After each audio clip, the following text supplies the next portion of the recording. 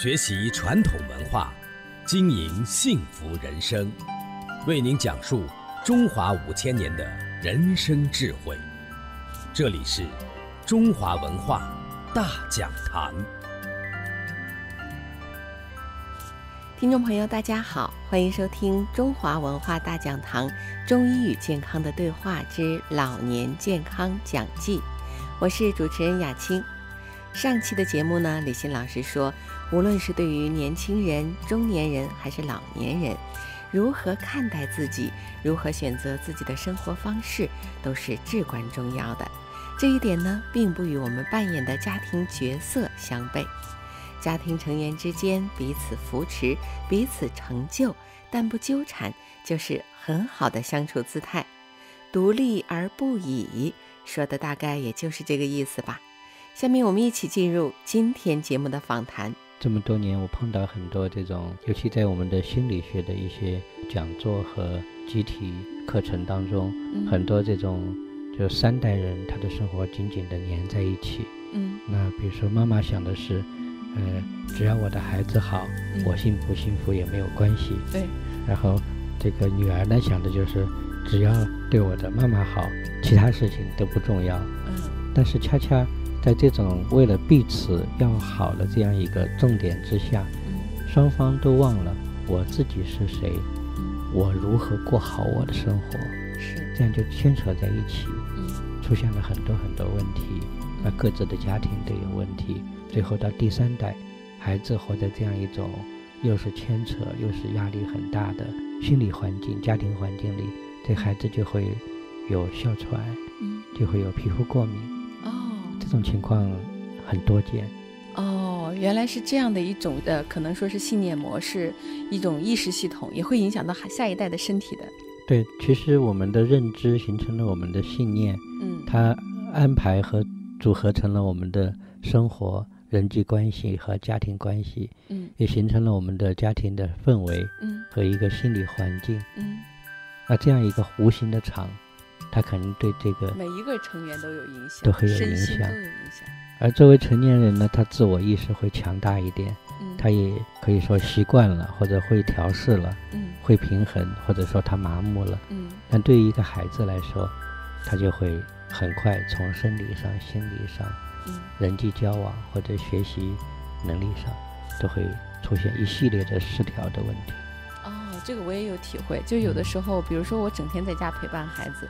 他就觉得妈妈你身上有一种那个老年人的味道，然后有的时候我会出去旅游一趟，几天回来，哎，你这次回来，我觉得你有一种青春的气息，你还是经常要出去走一走。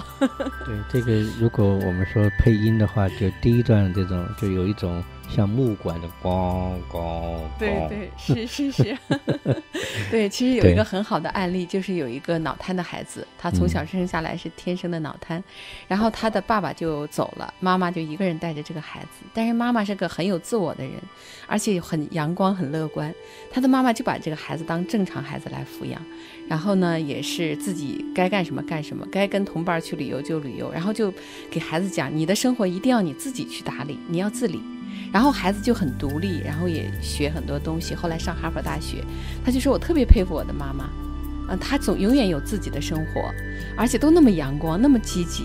嗯，那我也觉得生活确实，我自己的生活要靠我自己，不能让我妈妈天天陪着我，天天去看病流泪啊什么的。对，因为我们的生活其实很容易进入一个无意识的习惯模式。对，大家一起，比如看病啊，流泪呀。这种在比较低的状态里互相安慰啊，这些确实也是我们生活当中会遇到。嗯，而且在这种不是很好的状态里，如果有人陪你，嗯，流泪关心，嗯，确实也是非常幸运的。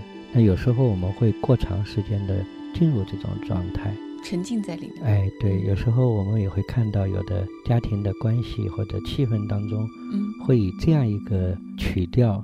作为一个基本的一个调，对基本旋律了，哎，对，呃，大家已经感觉不到了，嗯，呃，但这样一个基调之下的生活，总的来说，它会是阴郁的，是，它会是有压力的，嗯，这些其实最后都会，就像我们前几期谈到，都会首先从我们的精神心理层面，嗯，带来一些我们觉察不到、意识不到的一些压力和阻塞，嗯，慢慢影响到我们的能量、气血、经络系统，嗯，最后呢，会在我们的肉体上呈现出一系列的疾病或者不适，当然也会呈现在我们的生活、事业和人际交往当中。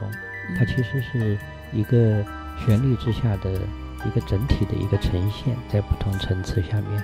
哦，那其实还有就是说到这个话题，也说到我们这一期节目的主题——老年健康的问题。我之前做了一些调查，就是搜集了一些问题。嗯，那我们这组访谈可能会也会谈到具体的老年关心的一些身体方面的健康问题，好吧？对，嗯，这个老年的健康问题确实是面临的现实，因为就像一个机器，你用了四五十年，它肯定会有各种问题。对。但是呢，人又跟机器不一样，它是有主观能动性的。是我们还是可以做一些什么？对，这个精神决定物质嘛，精神是第一性的。嗯，所以确实，在老年健康部分，除了我们确实要用医学的很多方式来应对这些具体的肉体的健康问题，但是在精神心理方面，在生活调试方面，在创造性、建设性的安排我们的老年生活这些部分。是我们需要更多的去思考和行动的。给我了一些反馈，就是他们很关心的问题。呃，第一个问题呢，就是儿女，比如说三四十岁这个年龄段的儿女们替老年人提出的问题。他们说自己的爸爸妈妈面临日渐衰老的躯体和越来越不能够支配的很多周遭的一些事情，他们就很恐惧、害怕死亡这个问题，就是生命即将走向终点，怎么样帮助父母来取消这个面对死亡的极大的恐惧？我觉得其实死亡，它不光是老年人会恐惧，嗯，他一生都会面临这样一种恐惧，只是我们在日常生活当中，嗯，或者说整个人类的这个日常生活，他会有意无意的去让大家忘掉这件事情，嗯，不去想它。不去想这件事情，但是它确实时时刻刻都可能发生的，嗯。所以这又回到了我们说的，去思考，嗯，很多事情，当我们就是说觉得非常恐惧，或者一旦想到，就觉得不能再想，很害怕，对，那说明我们对这件事情是太不熟悉了，嗯，或者说在我们的意识世界里，这件事情从来就没有进入过，对，不愿意进入就没有进入过，对，但这件事情生老病死这是。时时刻刻都可能发生的，所以在比较早的时间当中，让我们意识到这一点，嗯，其实是非常重要的。这个不光是一个医学、心理学的问题，嗯，在这个教育学当中，以前也谈到要有这种死亡教育嘛，是，对。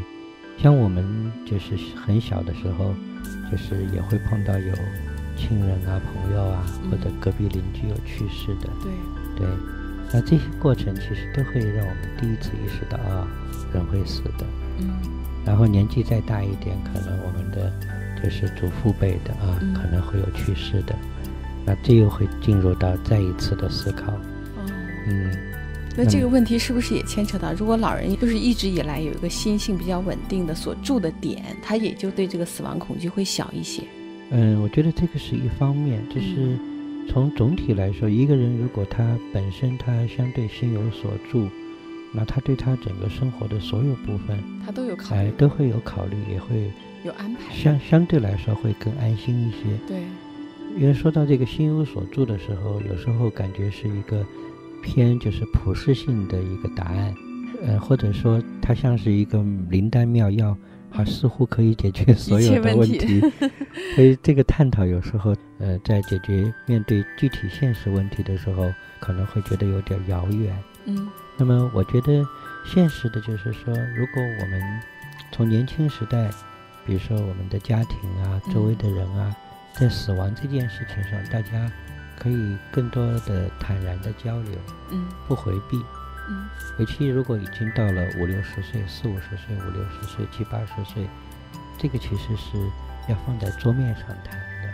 嗯，因为我知道也有过去的这种风俗啊、习惯啊、忌讳啊，嗯，说年纪越大就越不要谈这件事情。对，大家会故意刻意去回避。回避它。嗯，那这个问题，我们如果跳出这个具体死亡的这样一个话题，嗯，又回到，比如说我们在讨论儿童健康的时候，嗯，我们说这个关于性教育的问题，对，那其实，在本质上也是同样一个问题，就是过去比如说关于性教育的问题，大家都不谈，嗯，老师也不敢谈，然后发这个生理卫生的课本，你们自己看，嗯，那甚至同学之间或自己都不好意思去看。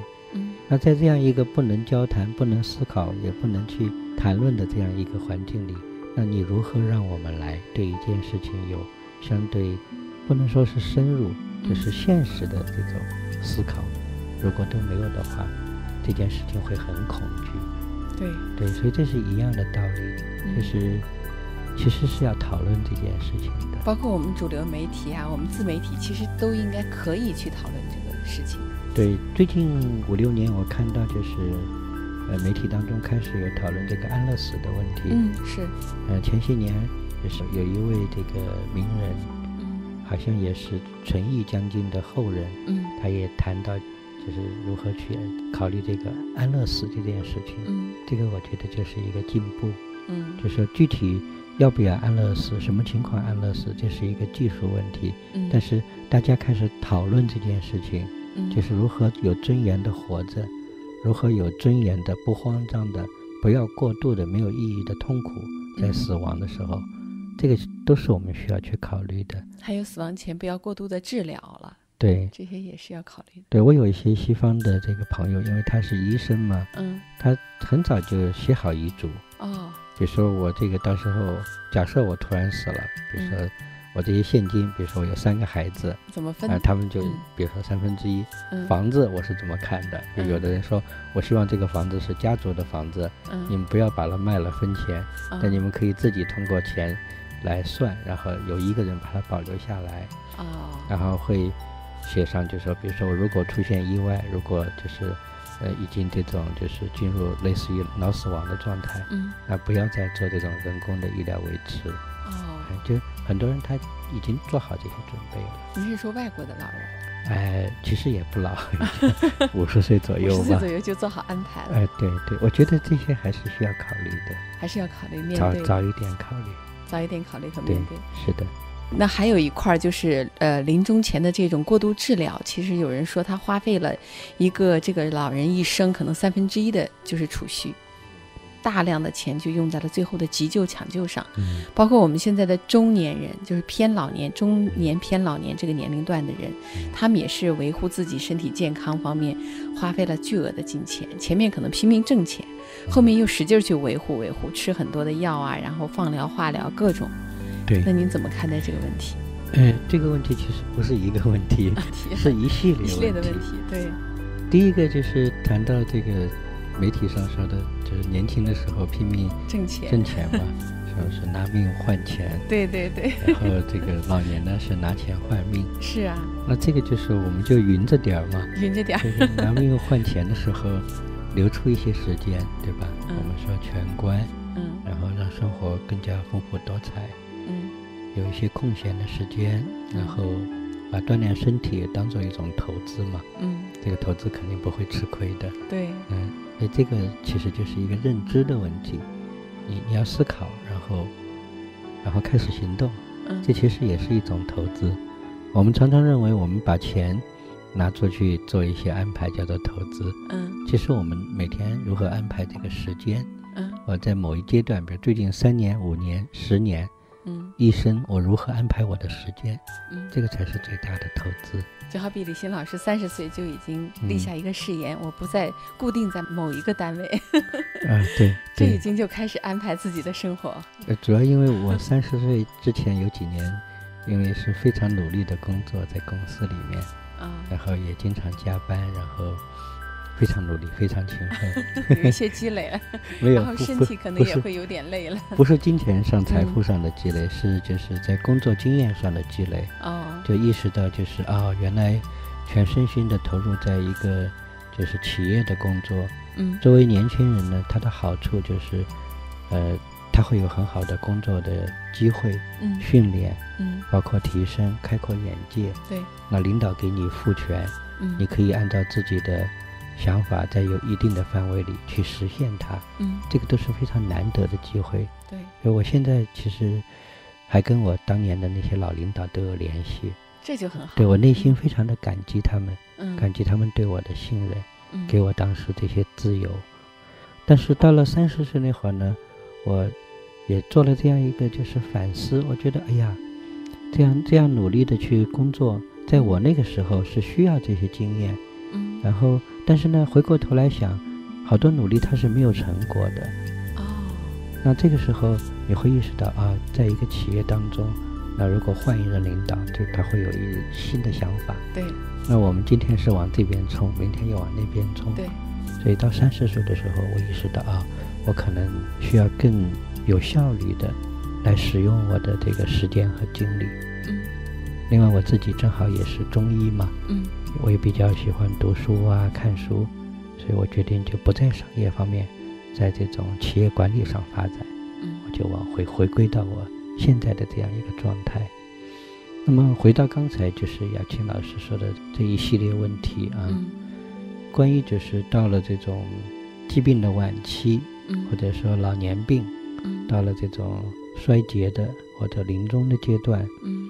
这些花费比较高，痛苦也比较大，但是，呃，有时候又是必须的，嗯。有时候呢又确实不能保证，就是说最后会产生怎样的疗效，对呀。这些就是医疗设施嗯。要不要用上去，这里面有几个方面需要考虑。嗯。第一个就是说，对于如果这个病人他已经是这种像癌症晚期恶病质，嗯。比如说已经都癌症细胞、肿瘤细胞都哦。广泛扩散，嗯。然后器官啊什么的已经在这种衰竭的状态。那从这个现代医学预后，比如说也只有可能一一天、两天、一周、两周，嗯。那即使我们去给他做一个很大的手术，或这种时候去给他做一些这种气管插管啊这一类的，这个病人本人如果还有意识，那他就要对这个问题要自己来做一个思考和决定，嗯。另外要跟家人来商量。嗯。这里面主要要避免的就是一种不动脑筋的套路性的思维。哦因为过去我们在医院碰到很多，就是这个阶段，除了说要尽可能把这个人救回来，或者说延长他的这个呃存活期存存活时间，嗯。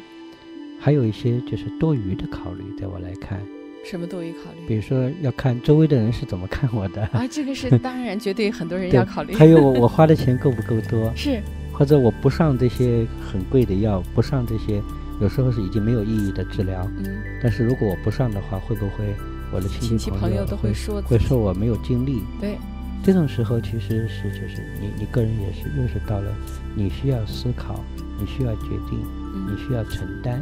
嗯因为那个时候我在医院，我也碰到，比如说几个兄弟姐妹，最后大家就谁都不敢站出来，就说那好吧，我们就交给医院吧，医院说什么我们就做什么，这样就没有人说我们了。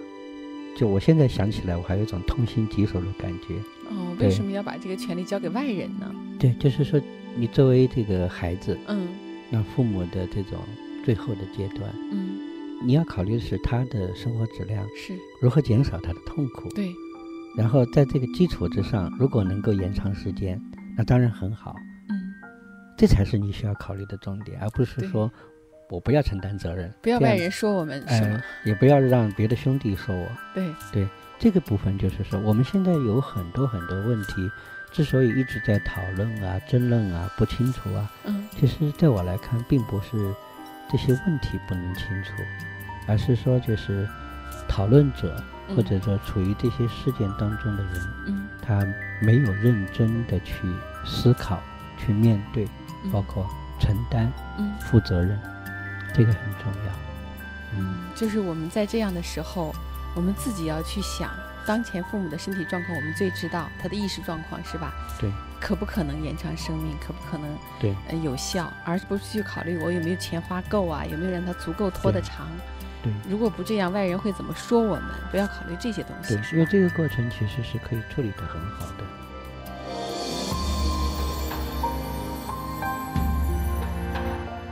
我举一个例子啊，嗯，就是我原来在上海的时候有一个学员，嗯，那他呃原来是大学教这个文学的一位老师，哦，后来他也很早就退休了，呃，他就搬到了上海生活。嗯，他妈妈呢是一个人生活在外地的，嗯，后来，呃，他妈妈是突然摔了一跤，就骨头断了，然后就去医院检查，发现是这个肺癌转骨癌晚期。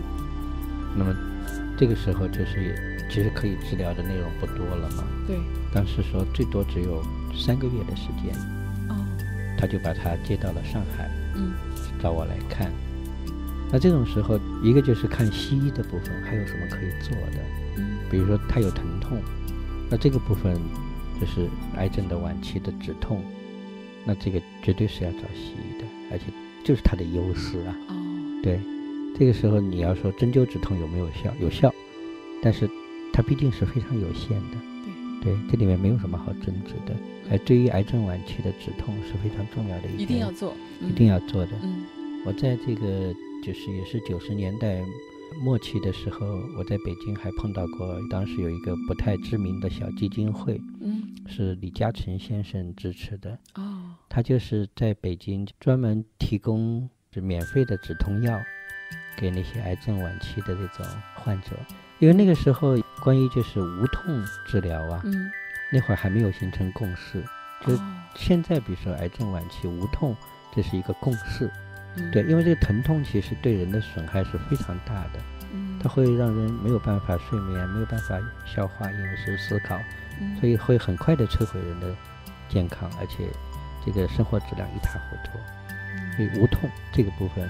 当时李嘉诚先生这个基金会去做这件事情，就任何一个癌症患者，你只要有病历、有医院诊断，你打电话给他，他会把药送到你家里。哦，这这是我回忆的一个小插曲。嗯，所以在这个部分，西医的部分，比如说无痛，嗯，还有一些病它需要定期输血，对吧？嗯，像一些血液病，那这个部分你当然要用西医的啦。而且一定要治，一定要这么做。然后正好呢，他呃妈妈这个这个肺癌呢，它又分很多型。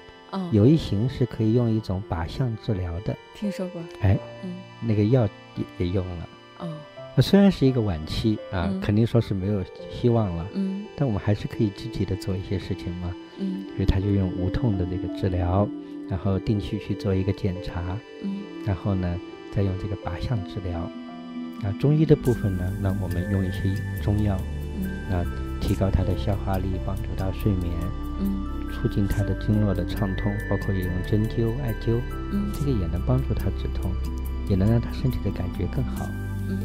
然后同时呢，这个我们正好有一些这种八段锦这样的这种传统功法课，你教教他，还有打坐课啊，那女儿呢就陪着他一起来上。嗯，这是一个很好的范例，子女客观而理性的与母亲共同面对当下的病况。采取中西医结合的治疗思路，既有效地减轻了亲人的痛苦，又有了高质量的临终关怀与陪伴。最后的结果怎么样呢？下期节目为。